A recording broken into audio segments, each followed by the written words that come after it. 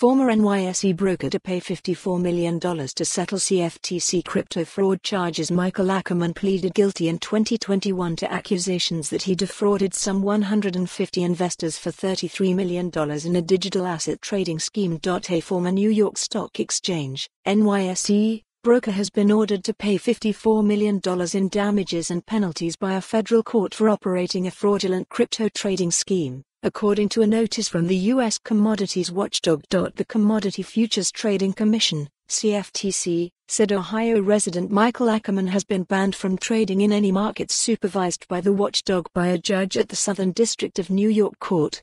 Ackerman was charged in 2020 for with defrauding some 150 investors and raising $33 million by promising extraordinary profits.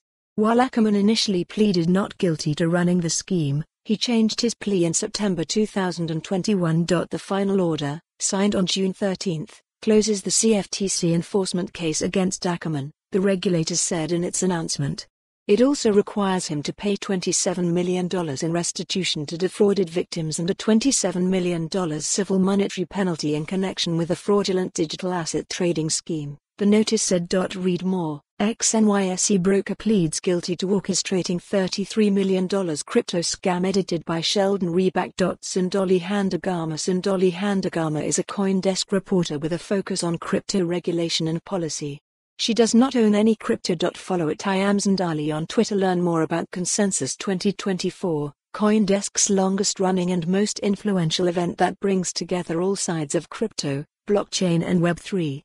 Head to consensus.coindesk.com to follow the URL for the full article. For more on this story, visit the news article link.